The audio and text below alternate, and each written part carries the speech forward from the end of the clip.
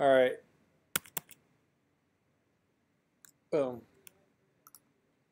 So now we have building a TCP server for HTTP. and instructions for what to do. So we listen TCP 8080, and uh, and then if we get right, we get a listener. We'll defer the close, and then once we have that listener listening on TCP port 8080, we accept any uh, connections that come in. We get a connection, then we launch that connection into its own goroutine. And so that could continue looping and being ready to receive another connection. And so handle will defer closing that connection. And then we have reading the request and writing to the request, writing the response. And so to read the request, we get a bufio new scanner and we scan that connection. So we get our scanner. And then we loop, because that's what scanner scan does. It'll return false when there's nothing else to scan. And for each token, right, by default it's a line. We read that line. And then if i is equal to 0, so i right here is 0, so that's going to be the request line, right? Because as we loop through the lines that came through, right, we're going to loop through the lines that come through. The first line is the request line. And so we have strings.fields length 0. So the very first one is going to be the method because the request line, the first thing in the request line is the method.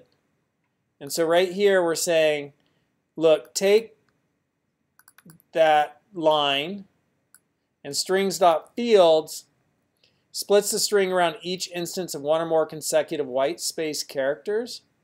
So it's splitting this up on white spaces and it, get, it returns a slice of string and I'm saying in the first index position of that slice, which it returns right here, that gives me a slice, now give me index position 0. So you could access things in a slice by index position.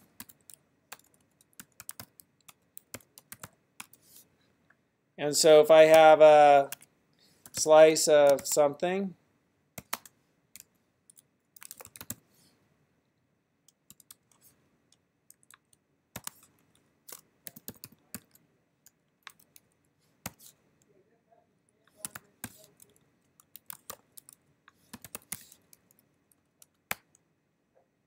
I could access things by index position. Index position 0 is going to be dog. Index position 1 is going to be cat. Index position 2 is going to be bird. So what I'm doing here is strings.fields gives me back a slice of string, all the words. I get that slice of string and I'm saying give me what's in the first position which is going to be my method. So I'm going to print out my method and if the line is equal to nothing headers are done. And I'm going to break out of this loop and every time I'm going to I++ to kind of loop through the lines. Seems like this would stop anyhow. I don't know why I'd need that because it'd be false. There's nothing left to scan. Um, and then the response, I'm going to respond to my connection with this body. And I'm going to write back some headers. So the first one is going to be my response line, status line, and the status line the status line is the HTTP version, the code, and the reason. So HTTP 1.1, the code is 200 and OK. And those codes can all be found in Godoc net HTTP. You have all your codes right here. Status OK 200, be an awesome license plate.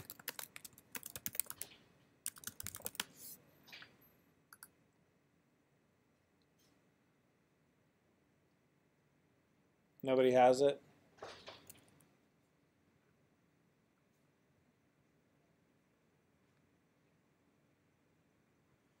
There's no pictures of it at least. Uh, like redirects are like the 300s. Um, 400s like an error. So like if we go to greatercommons.com forward slash nothing here, 404, page not found, right? So these are errors. And then uh, they just have all these status codes. So what's the status of what's happened?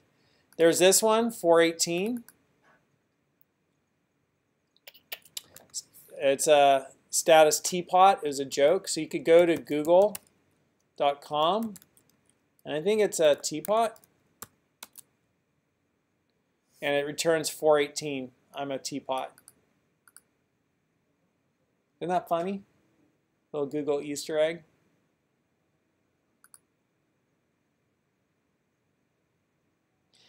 The requested entity body is short and stout. Tip me over and pour me out. Um, there was also a Twitter 420 status code at one point.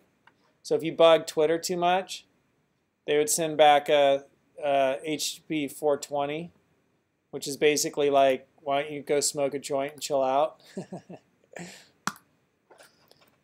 I don't do that stuff. That was. Twitter I guess so. Yeah, Twitter. Um, so uh, I'm going to write back the status line and then some headers, content length, and I'm getting the length of the body, which here's the body of what I'm passing in, this text. It's HTML text. And then content type is text HTML. And there's my carriage return line feed, which is part of the spec. You need that. And then I need this final carriage return line feed to make sure it's done. So my status line, carriage return line feed, feed after my uh, reason phrase. Um, and I guess after the headers you do that too. So here's the one after that one. And then uh, my connection, I write my body, right? So after my headers are done, after my headers are done, headers, I include my body. That's kind of dope. Like at a TCP level, we're kind of breaking it out, what is happening with the request and the response. And, uh, you know, we're handling a request and we're getting information from it. And then we're writing a response. So let's see it run, shall we?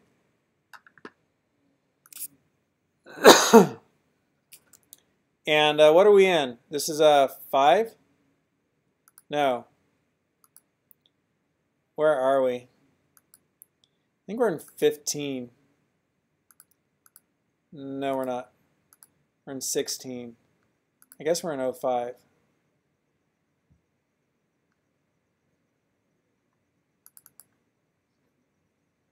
That's not it. Which file was it?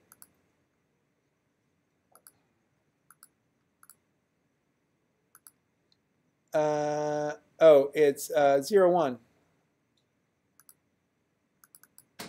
Yeah, that's it. 1601.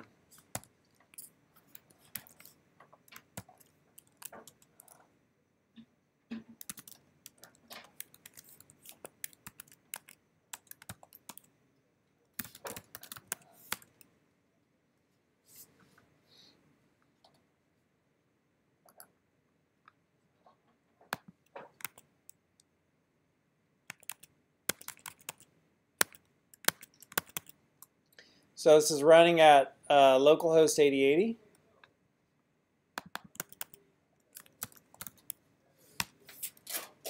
And it wrote back hello world.